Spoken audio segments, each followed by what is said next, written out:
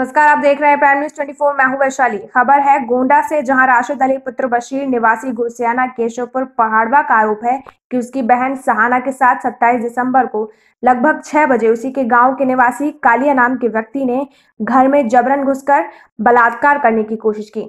जब पीड़िता ने शोर मचाया तो आरोपी कालिया अवैध कट्टे से फायर करने लगा, लेकिन फायर मिस हो गया।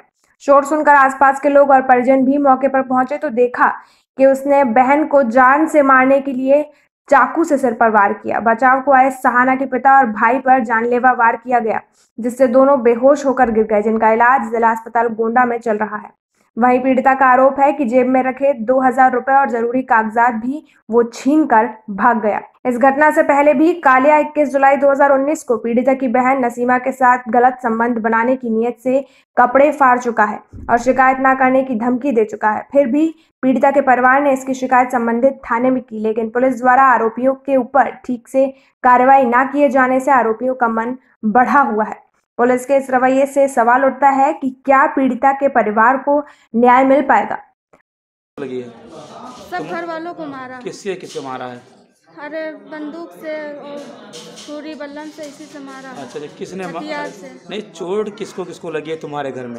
मेरे भाई को मेरे पापा को मेरे मम्मी को मुझे। अच्छा अच्छा। क्या नाम है आपका? बशीर। वसील पिता जी का क्या नाम है? रमज़ान अली। किस गाँव के रहने वाले हो? पुलिस लाइन खाना कौन सा लगता है? जिला गोंडा। कैसे चोट लगी आपको? हमको जब हल्ला हुआ तो हम घर पे नहीं थे दुकान पे थे। दुकान से गए सब लोग लपटियाने इस लड़की को बांधे रहे थे बस उसी में में हमको भी मारने लगे। किससे मारे हैं आपको? छुरी चक्कू से। कौन कौन मारा है? कालिया रहे कुके रहे नन्हा रहे मकसूद रहे ये चारों पाँचों भाई मिलकर तो मारने के बाद में क्या आप होश में थे? जी नहीं तब हमको पुलिस गए गए फ़ोन किए ना कोई गाँव वाले तब गाड़ी पे लाद के लेकर आए हैं क्या नाम है आपका? राशिद अली। राशिद अली का क्या नाम है? बशीर। किस गाँव के रहने वाले हो? गोचाना के सब कैसे चोट लगी? है ये उससे क्या कट्टे से मारा है। जिसने दागा उसके बाद में मिस हो गया फिर उसके बाद में उसके कुंदे से मुझे मार दिया। आपको? जी। कुंदे से मारा है? जी। कौन मारा था? कालिया कुके हम्म। ये दो लोग थे उसके बाद में उसके चारों भाई है तीनों दो भाई है उसके पिताजी। अच्छा इसके पहले आपके बड़ी लड़की के साथ कोई विवाद हुआ था? जी हाँ इससे पहले भी विवाद हुआ था मेरी बड़ी लड़की का क्या नाम है बड़ी लड़की का? नसीमा। नसीमा।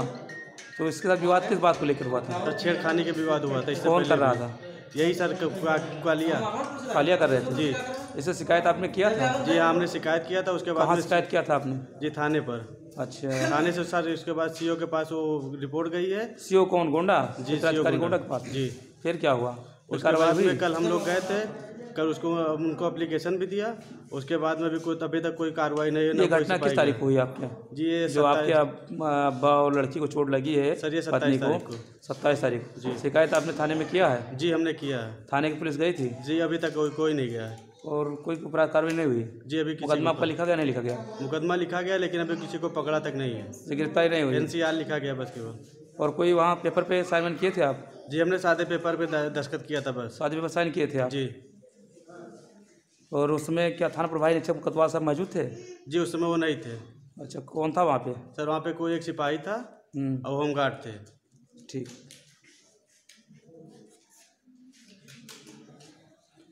अच्छा ये बैठी है जो आपकी कौन है? लड़की है? बड़ी लड़की है। आप इनकी पत्नी है? ये छोटी लड़की है? ठीक। प्राइम न्यूज़ 24 के लिए गोंडा से देवी पाटन मंडल ब्यूरो प्रदीप कुमार की रिपोर्ट।